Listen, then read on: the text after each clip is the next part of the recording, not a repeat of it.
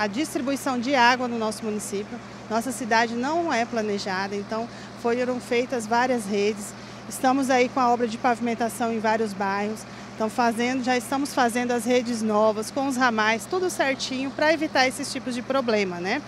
E, claro, né, investimos nos projetos. Alto Garças não tinha projeto nada do DAI, do Departamento de Água. Hoje estamos com os projetos todos prontos. Né? Estamos aqui executando o reservatório de 100 mil litros. Temos lá também a empresa, essa semana, deve entregar até a semana que vem, a, a, limpeza do filtro russo, a troca dos produtos do filtro russo também é uma coisa que há mais de 20 anos nunca foi feito, então estamos fazendo isso também. E temos né, todo, todo o processo pronto lá, que é o reservatório de 800, né, mais a barragem e mais a construção da ETA propriamente dita, né, porque hoje nós temos uma estação, mas ela não é a completa.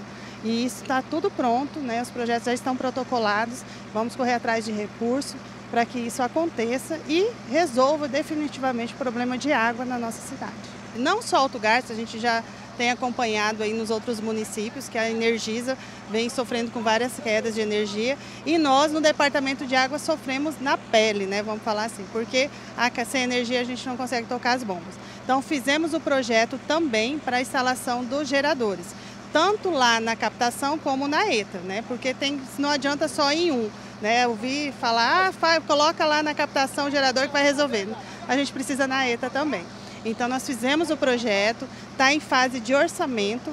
Eu acredito que esse mês já está finalizando e aí a gente vai licitar e vai comprar. Né? Então a gente já tem um recurso reservado para isso, para a gente investir no gerador, na captação e na ETA, para que quando der as quedas, quando faltar energia, a gente consiga dar sequência na distribuição de água.